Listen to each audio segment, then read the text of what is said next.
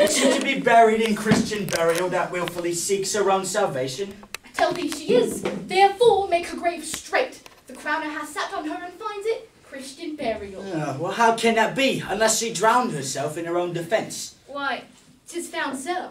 Oh. It must be se offendendo. It cannot be else. For, here lies the point. If I drown myself wittingly, it argues an act. An act hath three components. It is to act, to do, to perform. yes. Ergo, she drowned herself wittingly. Nay, but hear you, good man Delver. Give me leave. Here lies water. Good. Here stands the man. Good. The man go to this water and drown himself. it is will he, nil he, he goes. But if the water come to him, like this, and it drowns him,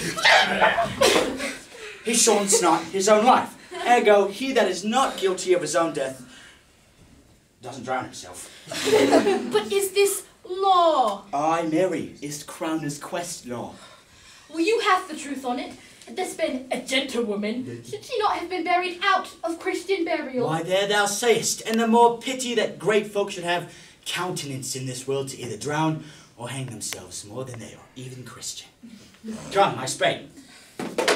There's no an- ancient gentlemen but gardeners, grave makers, and ditchers. They hold up Adam's profession.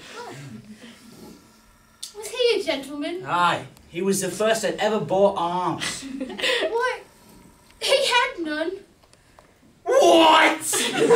Art thou a heathen? How dost thou understand the scripture? The scripture says Adam digged. How could he dig without arms? I'll put another question to thee, and if thou answerest me not to the purpose, confess thyself.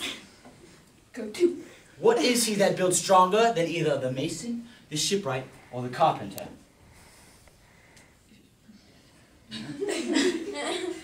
The gallows maker! For that frame outlives a thousand like thy wit well in good faith. The gallows, yes, it does well, but how does it well? The gallows does well to those that do in. And thou doest ill to say the gallows is built stronger than the church. Argal, thou, the gallows may do well to thee. Do it again, come. But built stronger than the mason, the shipwright, or the carpenter? Tell me that and unyoke. Mary, now I can tell. Can ya? To it. Yeah. No, mass. I cannot tell.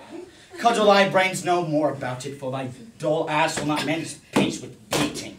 And when you're asked this question next, say, a grave maker, for the houses he builds will last till doomsday.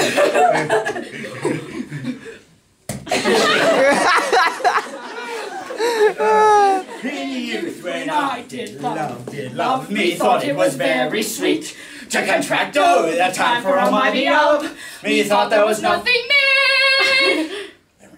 Very nice. With its stealing steps have clawed me in its clutch, and have shipped me out into the land as if I had never been such. A pickaxe and a spade, A spade! for and a shrouding sheet, oh a pit of clay for to be made, for such a guest is meet. Oh a pit of clay for to be made, for such a guest is meet!